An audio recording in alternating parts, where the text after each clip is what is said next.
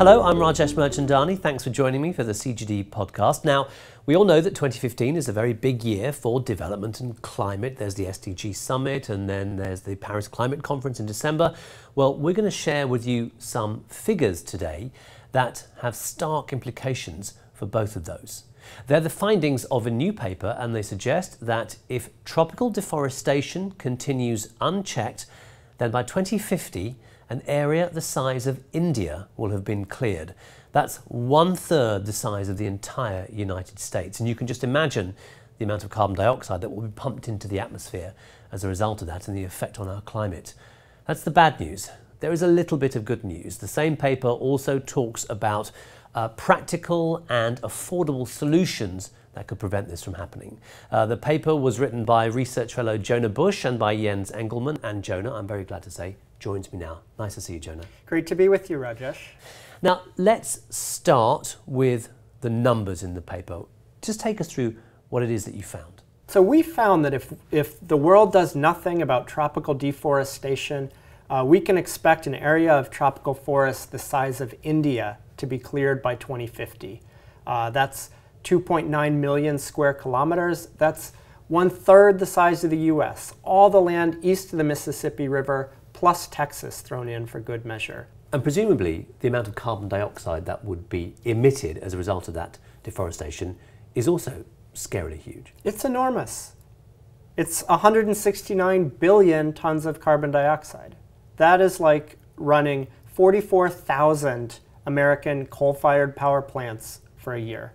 It's one sixth of our total planetary carbon budget. And the carbon budget is uh, an amount of carbon that scientists say we have left to emit in order to keep global temperature rises below 2 degrees Celsius and stop dangerous climate change. That's right. And we would get through a sixth of it through tropical deforestation alone. Just tropical deforestation, one sixth of that carbon budget. What did you think when your numbers came up like this? What was your reaction? Well, I knew that there were a lot of emissions from tropical deforestation, but I didn't know it was going to be this big. Uh, and that was because we, for the first time, had the privilege of looking through very high quality, very high resolution satellite data on how tropical deforestation has advanced and proceeded in the last decade. Data that uh, NASA has produced from its satellites that scientists at the University of Maryland have poured over with algorithms, with, using Google, uh, using huge amounts of, of technology uh, to, to look at forests the size of a baseball diamond. And, and it's, it's, this is just, you know, I almost can't overstate how revolutionary this was when this data was produced uh, in 2013 by, by Matt Hansen and, and, and his collaborators. I mean, what we had before to look at where you know, every country would submit uh, to the Food and Agricultural Organization one number for how much forest they said they'd lost in the last five years. Self-reporting. Self-reported. So and some countries had, you know, they, they, would, they would make their number really high for political reasons. Other countries would say we have no deforestation at all for political reasons. Uh, and, and so you can imagine what a mess that was for previous researchers, uh, including myself, to deal with. Now there's satellites and you can really track deforestation as it happens year on year, right where it's happening. And what we found is pretty scary. And actually. what we found is scary, yeah. So, so we, we see this pattern that deforestation doesn't just plod along the same amount every year as previous researchers were sort of forced to assume. In fact, it rises very steeply uh, at first, and then it plateaus, and eventually it falls. But that's so over a very long period of time. Over over uh, over a very long period of time, sure. So using that satellite data, you found that the trends for deforestation are going to do what to mid-century? Uh, in places, in, in remote places with a lot of forests left, we, we expect the deforestation, once it arrives there, can shoot up very rapidly. Places like the interior uh, of the Amazon and the heart of the Congo Basin. And this tells us that actually deforestation rates are going to increase in the next few decades. That's, that's what we project. We project uh, that deforestation rates will increase over time, rising gradually through the 2020s and 2030s before accelerating in the 2040s if we do nothing about it. So, what would be the impact of all of this on, you know, on people in poor countries, on, on, on development? There, there's two. So climate, uh, climate change affects everyone on this planet, but it affects poor people the most uh, through more expensive food, through bigger storms.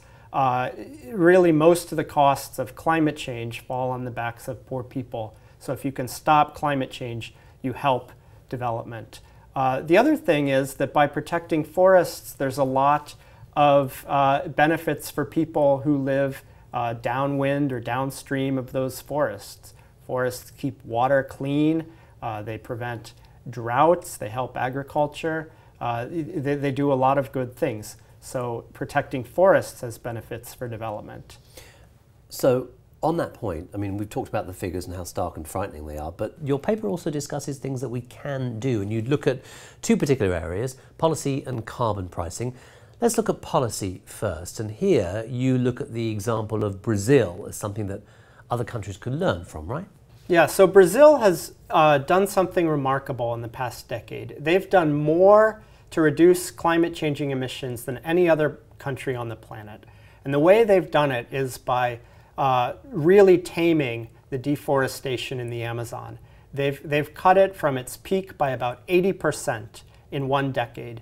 And at the same time, their soy production and their cattle production grew by about 30 to 60% each over that same time.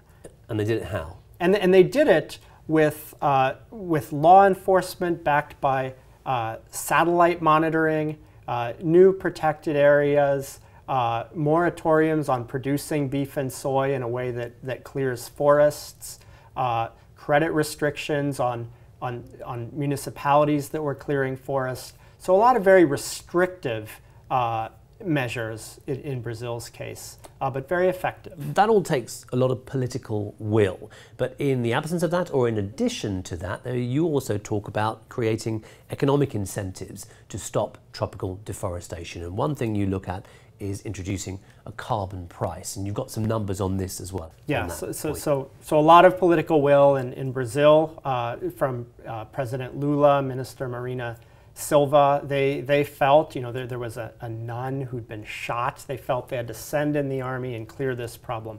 But most countries are not in where, where Brazil is. Most countries uh, in the tropics are facing a situation where, where, where people are clearing forests uh, for, for agriculture, generally uh, large agricultural uh, commodity businesses that are traded internationally.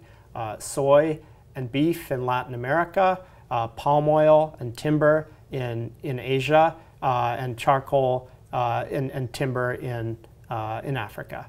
Um, and so the, the, the, the, key, the crux, we think as environmental economists, to arresting the, the problem of, of tropical deforestation is by making forests worth more alive than dead.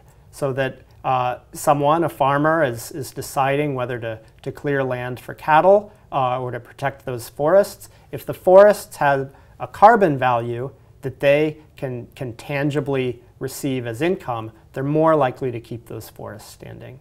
And that's what our paper looks at. We found that a, a $20 uh, per ton uh, per ton of carbon dioxide price on carbon emissions would reduce the, the global emissions I told you about before by about one quarter. Uh, $50 per ton price by 2050 uh, would cut those emissions by half. Those numbers, $20 a ton, $50 a ton, uh, if you do the maths and then multiply $20 by the number of tons of carbon dioxide you want to reduce, those numbers can be pretty big. That might scare off policymakers. So let's talk a little bit about uh, where those numbers sit in relation to other uh, proposals or suggested carbon prices that are out there. Yeah, so I want to say that these numbers are actually uh, they're, they're smaller than they first appear for a few reasons. And one is if you have a $20 per ton carbon price in a market, the cost to people is actually not $20. It's something less than that. It's, it's closer on average to about $9. Just like uh, you know, you, you may pay $100 for your shoes, but it's only costing $20 or $50 to produce those shoes. Same thing here with, with carbon. So there's a bit of a markup. So there, there's a markup that's profit. If it's done right, that's profit for the, uh, for the, for the land users, just like they'd get profit from beef or they'd get profit from soy. Now they could get profit from carbon. That's the idea. Now, the other thing is, let's compare these numbers uh, to, to a few things. So if you wanted to stop climate change and you only wanted to do it uh, by, in Europe by uh, reducing the cars that people drive or, or the, the, the power plants they're using, it would cost five times as much as it would from reducing tropical deforestation. So what you're saying is that preserving tropical forests is a cheaper way to reduce emissions than uh, could be done elsewhere, say in the European Union. That's right. If it costs you $100 in the EU, it costs you $20 in the tropics. So the point is that policymakers should not be alarmed by the 20 or the $50 a tonne because it's actually in keeping with other proposals out there. Reducing tropical deforestation is a bargain when it comes to stopping climate change. So does this make you think about what is the role of rich countries in reducing tropical deforestation? So rich countries should absolutely be uh, switching to renewable energy. They should absolutely be figuring out how to make cars more efficient. Uh, but they should also, on top of that, uh, be sponsoring reducing deforestation in the tropics, uh, providing financial incentives uh, to reduce deforestation in tropical countries. Uh, they can do that with payments, with, with, with funds, uh, or they can do that with carbon markets, linking carbon markets in Europe or in California uh, to, to the tropical countries. So you're creating economic incentives for people not to chop down trees. Rich countries are paying for uh, the global public good of a clean environment. Everybody benefits from that, and they can uh, reach their commitments to reduce carbon emissions, global carbon emissions, in a way that's financially makes better sense. Yes, it's, it's, it's the a much cheaper way uh, to fight climate change. And you know wh wh why is that? We don't have the luxury of spending all our money to fight climate change. Look, I work on climate change. I know it's important, but all of our colleagues in CGD work on important things too. Uh, global health is important. Uh, fighting poverty is important. Education is important. We live in a world with many important things and scarce resources. And so uh, we, we, we want to fight climate change, but we want to do it cheaply. So let's cast our minds forward to December, yes. to the Paris Climate Conference. In, the light of your findings, what do you want policymakers there to be thinking about and doing? Well, forests should be a much bigger part of the climate solution in 2015. Uh, all the countries are coming together in the, uh, to, to fight climate change. Uh, things look pretty good right now. Uh, it looks like many of the biggest countries are putting bold, ambitious pledges on the table. Uh, but there's a worry that forests might fall through the cracks. Uh, you know, some forest countries will offer uh, a certain amount of emission reductions, uh, but it's not nearly as much as could happen as they could do with financing coming in from the rich countries. So we'd like to see more partnerships where a rich country like the USA uh, says to a, a poor country with a lot of forests, like Liberia, we will help you achieve many more emission reductions, and in return, uh, here's money to do it. Okay, Jonah, sounds fascinating. Um, the numbers are stark. It's great to talk to you about some of the kind of potential solutions. Uh, and I'm sure we'll be back talking about this in the future. For the moment, Jonah, thanks very much for joining us. Thank you, Rajesh. Wonderful to be here. Don't forget you can find out much more about all this work and everything that CG does on, CGD does on our website, www.cgdev.org. I'm Rajesh Mirchandani, and join me again for the next podcast from the Centre for Global Development.